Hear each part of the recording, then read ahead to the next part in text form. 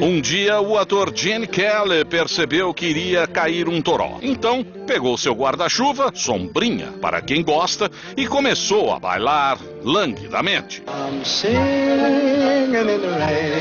Depois de décadas, quem imaginaria que Edneia se inspiraria neste clássico para compor Moçoila na Tormenta? Muito caliente. Garota na chuva para você que é popular. Pois é, caro telespectador, os brasileiros gostaram e passaram a reproduzir a coreografia de Edneia. Aliás, a dança de Edneia entrou até como matéria obrigatória em algumas escolas. Veja só.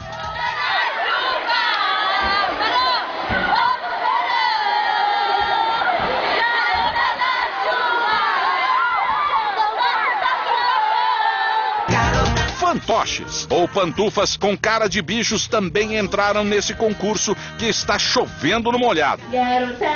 Chuva, as quatro estações. Até o nosso vinheteiro fez sua versão Ludwig van Edneia.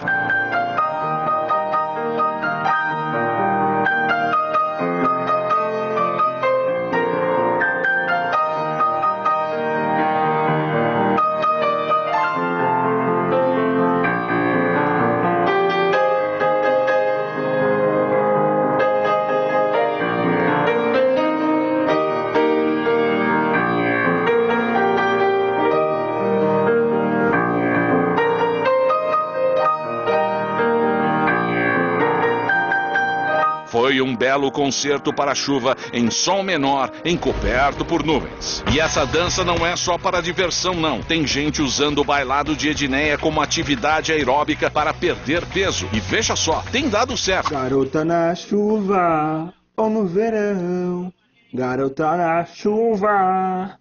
São as quatro estações. Quer entrar no concurso? Então faça uma versão de Garota na Chuva. Grava tudo, posta no YouTube, manda o link para arroba programa Pânico. Tá valendo uma aula de lambada com Edneia, ok? Domingo que vem tem mais concurso Garota na Chuva. Garota na chuva.